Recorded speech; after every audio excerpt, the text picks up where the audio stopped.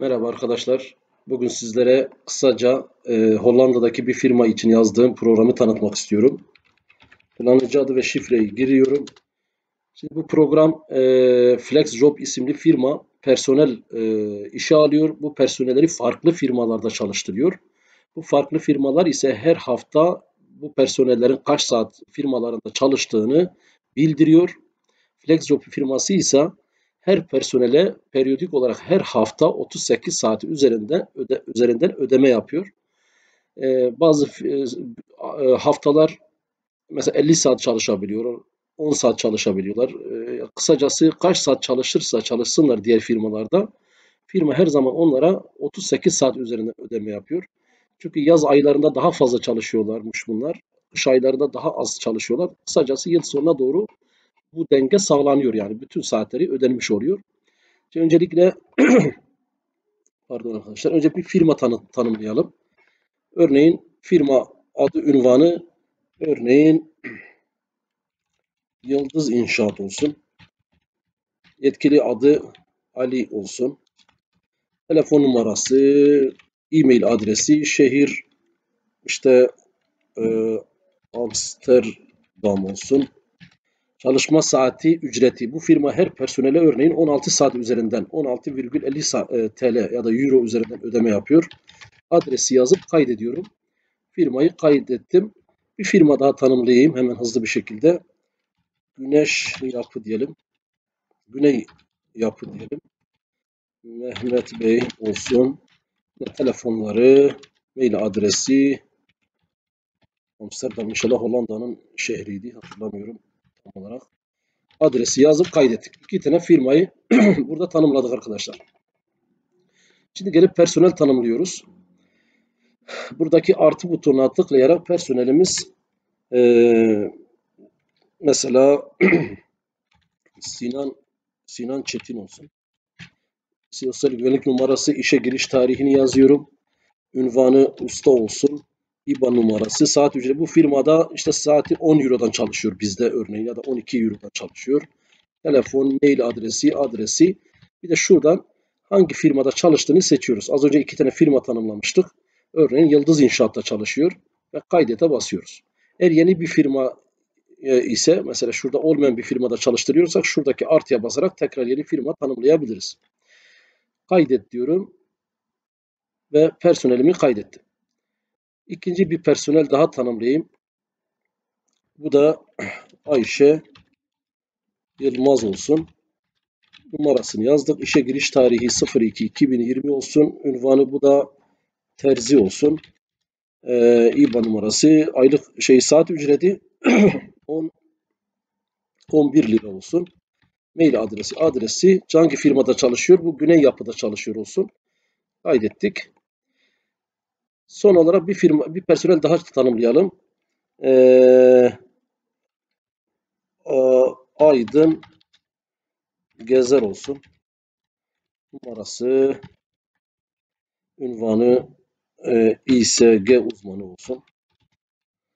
E, hesap numarası, saat ücreti 12 liradan diğer bilgilerini girip bu da Güney Yapı'da çalışmış olsun iki tane personel, üç tane personelimizi tanıttık arkadaşlar. Şimdi bir hafta sonra şu firmalar bize haftalık çalışma saatini bildirecekler. Örneğin Yıldız İnşaat'ın üzerine tıkladım. Aşağıda haftalık çalışma saati gir diyorum. Bugün ayın 21'i olduğu için geriye doğru 17 günlük bir tarih burada belirledi. Biz de belirleyebiliriz aralığı. Tamam diyorum. Burada dikkat ederseniz Yıldız İnşaat'ta sadece Sinan Çetin çalıştığı için Sinan Çetin'i ekrana getirdi. Burada Enter tuşuna basıyorum. Saat kaç saat çalışmış? Örneğin 45 saat çalışmış. Ekle diyorum, kaydet diyorum. Ve dikkat ederseniz şurada bu firmada toplam çalışma saati e, 45 saat. Güney yapıyı seçiyorum. Haftalık çalışma saatini gir. Buna da tamam diyorum. Bu sefer iki personeli çağırdı. Bu da 50 saat çalışmış olsun bu firmada. Bu da tabi seçip Enter'a basıyorum arkadaşlar. Seçiyorum. Enter tuşuna basıyorum. 50 saat diyorum. Tamam deyip kaydet diyorum.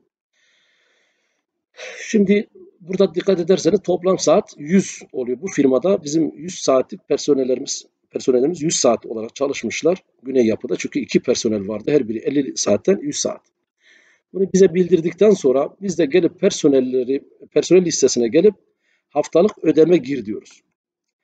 Hemen tarih aralığı geldi. Tamam diyoruz. Bu sefer tüm personellerimizi çağırıyor ve bir tane Sinan Çetin'i seçip Enter tuşuna basıyorum. Kullanması böyle. Seçip Enter'a basıyorum. 38 saat otomatik geldi. Ekle diyorum. Ayşe Yıldız'ı seçip Enter'a basıyorum. 38 saat Enter. ve bu şekilde kaydete basıyorum. Şimdi şuradan dikkat ederseniz Sinan e, Sinan Çetin 45 saat çalışmıştı. Kendisine 38 saatlik ödeme yaptık ve 7 saat kalan var. içeride fazlası var. Yine Ayşe Yıldız 12 saat, Aydın Gezer 12 saat burada içeride bekliyor. Burada haftalık ödeme detayı dediğimiz zaman tüm personellerimizin öden, yapılan ödemeleri buradan görebiliyoruz. Herhangi bir personeli seçip hesap ekstresi dediğimiz zaman da personel şu firmada FRM 016 e, kodlu firmada 50 saat çalışmış. Kendisine biz 38 saat ödeme yapmışız. Yazdır deyip yazdırabiliyoruz. Şimdi bir hafta sonra tekrar firma Yıldız İnşaat bize yine çalışma saatini bildirecek. Saatin işte ayın e, şurada 21'i olduğunu düşünelim. Dikkat ederseniz son ödeme 28 oldu. E, bir dakika ayın kaçıydı en son? Az önceki 21'inde başlamıştık son ödeme. Evet burayı 21 yapıyoruz. Demek ki e, 28 oluyor son ödeme tarihi. Tekrar bu adam mesela 30, 30 saat çalışmış olsun. Kaydet. Şu iki e, firmada ise şu firmada ise yine burayı 21 yapıyorum. Tabi saat ilerlediğini düşünelim. Tarihin ilerlediğini düşünelim. Biz burada üst üste ödeme yapıyoruz. Tarih ilerliyor bu arada. E, bu personel 10 saat çalışmış olsun. Bu personelimiz de burada 10 saat çalış, çalışmış olsun ve kaydediyoruz. Evet, şu personelimiz 75 saat çalışmış oldu. 2 haftada Güney Yapı'da ise 120 saat çalışma oldu. Ve biz de yine e, personellerimize ödeme yapacağız. Haftalık ödeme giriyoruz. Ay 21'i diyoruz buraya ve tamam diyoruz. Dikkat ederseniz Sinan Çetin'i seçip Enter'a bastım. 38 saat ekledim. Ayşe Yıldız'a 38 saat. Aydın Gezer'e 38 saat ekledim ve kaydet dedim. Hepsini ödeme yaptım. Şu anda personellerin kalan saatleri negatife düştü. Çünkü fazla ödeme yaptı. Bir sonraki hafta onlar fazla çalışırlarsa bu tekrar pozitife dönecektir. Dolayısıyla personellerimizin e, çalışma saatlerini bu şekilde takip ediyoruz. Hesap ekstresine bakalım. Mesela Aydın Gezer'in hesap ekstresine tıklıyorum. Yazdır diyorum. Evet diyorum. E, buradan masa üstüne Aydın yazayım yazıcı olmadığı için pdf olarak kaydettik. Şimdi SC tuşuyla kapattım. Masa üstüne bakıyorum. Aydın çalışma hesap ekstresini açtığım zaman evet gördüğünüz gibi şu saatler arası şu firmada 10 saat, 50 saat, toplam 60 saat, 38, 38, 76 saat ödeme yapmışız. Fark eksi 16. Hak ettiği ücret 720, ödenen 912, kalan eksi 192 T, artı euro olarak hesabını buradan görebiliyoruz. Örneğin bir firmayı silmeye çalıştığımız zaman firma kalıyor silinsin mi firmaya kayıtlı personel bulunmaktadır dediği için firmayı silemiyoruz. Mesela Güney Yapı'dan personelimizi çıkaralım. Hangi personelimizdi? Güney Yapı'da kim çalışıyordu? Ee, şuradan Ayşe ve isterseniz Yıldız İnşaat'tan Yıldız İnşaat'a bir bakalım. Sinan Çetin çalışıyor mesela. Sinan Çetin'i işten çıkaralım. Sinan Çetin'i çift tıklıyorum. Şuradan işten çıkar diyorum. Evet diyorum. Sinan e, Çetin bu firmadan ayrıldı. Örneğin başka bir firmaya aktaralım kendisini. Şuradan Güney Yapı'ya kaydediyorum. Tekrar haftalık çalışma saatini girdiğim zaman Yıldız İnşaat'ın bakın Yıldız e, e, İnşaat'ta firmada çalışan personel yok. Buna herhangi bir ödeme giremiyoruz. Güney yapıya geliyorum. Haftalık çalışma saati ayın 28'i yapıyorum. 12. ayın 5'ine aktardı. Dikkat ederseniz her 3 personelimizi çağırdı. Yine her birine 40 saat çalıştıralım. Çalışmış olduklarını düşünelim. Mesela Aydın Gezer bu hafta hiç çalışmadı farz edelim. Onu da bu şekilde yapabiliriz. Kaydet diyorum. Tüm personellerin haftalık çalışma saatlerini girmediniz. Bu haliyle mi devam etmek istiyorsunuz? Evet diyorum. Kaydet diyorum. Ve Şimdi personellere geldiğim zaman burada dikkat ederseniz Aydın Gezer hala eksi 16'da. Diğer personellerimiz artıya geçti. Bunlara yine haftalık ödeme girebiliyoruz. Ayın 28 üzerinden tarih olarak 28'i seçtim. Tamam diyorum. Sinan Çetin'e pardon şurada Sinan Çetin enter 38 saat. Ayşe Yıldız 38 saat. Aydın Gezer 38 saat diyorum.